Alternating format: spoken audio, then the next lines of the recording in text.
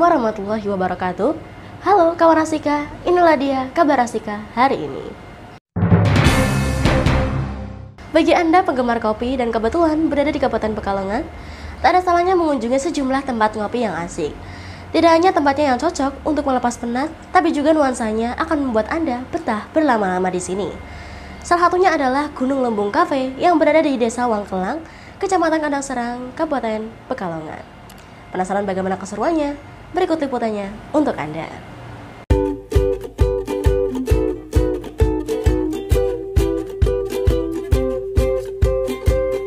Walaupun harus menempuh waktu 60 menit ke arah selatan dari kota Kajen Pekalongan, Gunung Lumbung Cafe bisa menjadi alternatif nongkrong yang patut untuk dicoba. Lokasi Gunung Lumbung Cafe cukup jauh dari keramaian, pengunjung akan disuguhi hamparan perbukitan yang hijau dan sejuknya udara pegunungan. Yang paling istimewa dari kafe ini, pengelola hanya menyuguhkan kopi yang didapat dari petani lokal, dari kopi robusta, arabica, wine, biberi, excelsa, dan beberapa jenis kopi lainnya. Konsep dari kafe ini menitik beratkan pada pengenalan produk kopi lokal, sekaligus membantu para petani kopi untuk menjual kopinya dengan harga yang lebih layak sehingga memberikan keuntungan yang lebih baik. Ya, karena satu itu untuk apa namanya? mengangkat uh, derajat apa namanya Mas?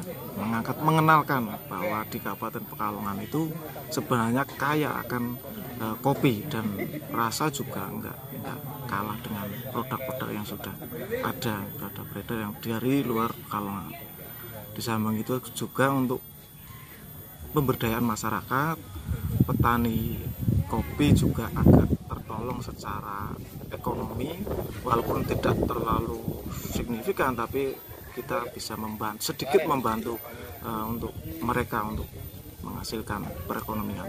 Di hari-hari tertentu terutama akhir pekan, banyak pihak yang memanfaatkan Gunung Lumbung Cafe sebagai tempat kegiatan. Salah satunya adalah Dharma Wanita dari Kecamatan Kandang Serang ini. Mereka sengaja menggelar pelatihan membuat dan merangkai bunga stocking. Bahan dasar pembuatan bunga ini dengan memanfaatkan kain stocking yang dikreasi sedemikian rupa hingga menjadi sekuntum bunga yang cantik dan warna-warni. Selain menambah keterampilan dan kreativitas, kerajinan bunga stocking ini mempunyai manfaat ekonomi. Bunga stocking yang telah selesai dirangkai dapat dijual dengan kisaran harga antara 40.000 hingga ratusan ribu rupiah, tergantung besar kecilnya bunga dan tingkat kesulitan dalam proses pembuatannya.